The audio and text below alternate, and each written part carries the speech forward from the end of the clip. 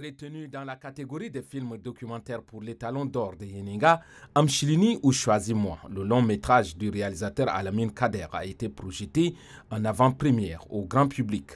C'est dans une salle de projection de films de l'Institut français au Tchad Archicomble. Cinéphiles, réalisateurs et amoureux du cinéma tchadien se sont mobilisés pour cette première projection sur l'écran du film Amchilini du réalisateur Alamine Kader en compétition pour l'étalon d'or. L'avant-première projection du film Amchilini a pour but de faire découvrir ce film au grand public de la capitale avant d'être apprécié par le jury de FESPACO. Réalisé dans un village de la province de Hadjer Lamis, le long métrage documentaire d'Alamine Kader porte sur une histoire vraie. Il s'agit du mariage traditionnel qui permet aux femmes restées trop longtemps célibataires à choisir un mari.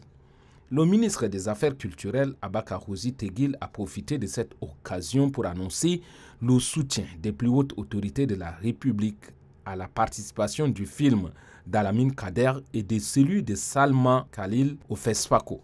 L'actualité culturelle cette semaine, c'est aussi la session ordinaire du Conseil économique, culturel et environnemental. Cette session a pour inviter le ministre des Affaires culturelles, du patrimoine historique, du tourisme et de l'artisanat, Abakarouzi Tegil. Huitième ministre à être reçu au Conseil économique, culturel et environnemental pour la session ordinaire placée sous le thème Cohabitation pacifique, vecteur d'une transition apaisée pour une paix durable. Culturellement, à vendredi prochain.